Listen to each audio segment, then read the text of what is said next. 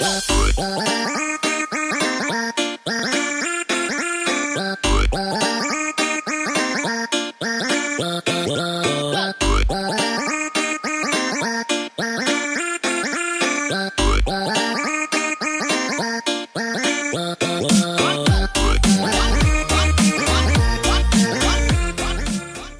Comentar sobre el evento?